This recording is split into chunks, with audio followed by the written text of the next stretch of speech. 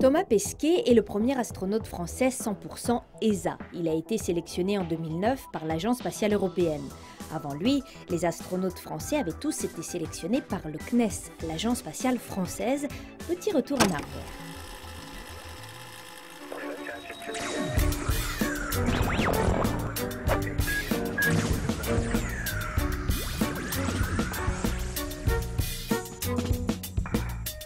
La France dans tout ça Jusque-là concentrée sur les lanceurs et les satellites qui vont avec, elle inscrit enfin son nom sur les ailes du vol habité le 24 juin. La France donc a été le premier pays européen à se lancer dans le vol habité après la Russie et les États-Unis. Entre 1982 et 2002, 9 astronautes français effectuent 16 missions spatiales.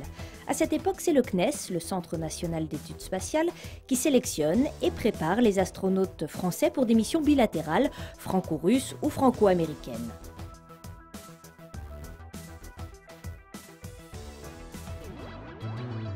Avant, euh, quand on préparait les vols euh, avec euh, l'Union soviétique et puis la Russie, typiquement, on réalisait au CNES toutes les opérations, depuis le début, depuis l'idée d'une expérience qui était dans la tête d'un scientifique, jusqu'à la préparation du matériel qu'il fallait pour réaliser cette expérience, des procédures, des opérations, parce que le, protocole expérimental était travaillé par les ingénieurs avec les scientifiques, puis le suivi des opérations, etc. Donc tout était préparé par une petite équipe qui avait tout dans ses mains. On était euh, une, trentaine de personnes à peu près à préparer une mission, un vol, et on réalisait toutes ces étapes-là. Le CNES a donc déjà une équipe d'astronautes et d'ingénieurs aguerris quand en 1992, l'ESA demande à ses pays membres de sélectionner des astronautes pour constituer un corps européen. L'enjeu, c'est la participation à la Station spatiale internationale, l'ISS, qui est en cours de construction. C'est l'ESA qui est l'interlocuteur pour l'ISS et qui doit fournir une équipe compétente pour mener les missions qui vont s'enchaîner à bord de ce laboratoire spatial.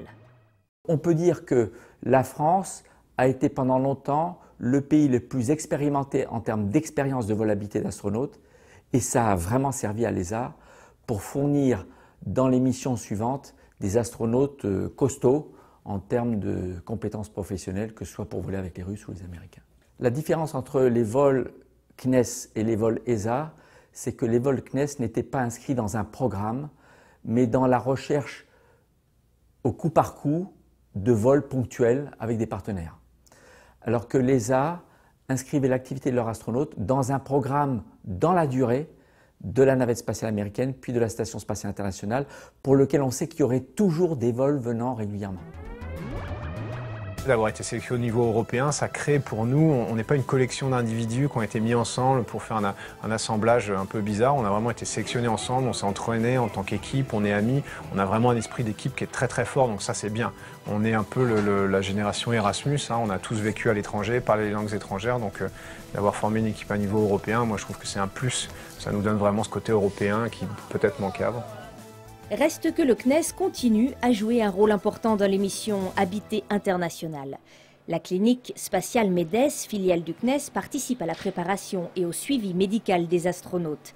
Ces médecins et d'autres instructeurs du CNES interviennent ainsi à l'EAC, le Centre d'entraînement européen des astronautes à Cologne en Allemagne. Au Centre spatial de Toulouse, le CANMOS est la référence européenne pour toutes les expériences physiologiques en micro-pesanteur. Et cette contribution du CNES à l'ESA ne manquera pas de se poursuivre. L'exploration humaine du système solaire elle se poursuivra, donc il y aura une, suite à ça. Euh, il, y a aussi déjà de l'exploration automatique du système solaire, de, la Lune et de Mars notamment, sur lequel on est très actif, nous au CNES. Et je crois que demain, l'exploration va un peu relier tout ça. C'est notre volonté de faire partie de cette aventure à un haut niveau parce qu'on a acquis des expériences, que ce soit en automatique ou en habité, pour faire partie de l'expérience, de la grande aventure de l'exploration du système solaire.